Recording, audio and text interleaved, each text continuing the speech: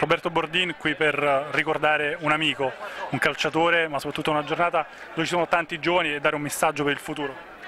Sì, detto bene, un amico, un ragazzo veramente eccezionale, Carmelo ha un rapporto veramente molto bello con lui e lui con tutti quanti il resto della, de, de, della squadra, quindi un esempio molto importante da seguire i valori che ha voluto lasciarci appunto Carmelo per, così, per poter consegnare a questi giovani che ne hanno bisogno. Quest'anno sei stato ancora impegnato nel calcio, fortunatamente un'avventura abbastanza felice a Verona.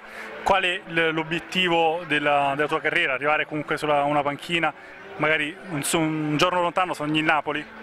Beh, quello sarebbe un sogno veramente eh, penso irraggiungibile per, per me, però eh, ho avuto la fortuna di giocarci a Napoli, per me quattro anni molto, molto belli e indimenticabili. Di sicuro fare, far, far, far, parte di uno staff tecnico quest'anno appunto a Verona è da qualche anno che sono Mandor, con Mandorlini, ormai 7-8 anni che siamo insieme, quindi per me è molto importante e sono già contento così. Qual è il ricordo più bello quando hai calcato il San Paolo, sei tornato qui in Napoli-Verona, l'ultima di campionato, il ricordo più bello quando sei entrato, hai avuto qualche flashback, qualche déjà vu sul passato?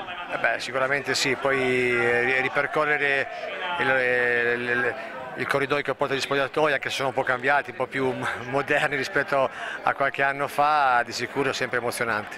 Grazie mille.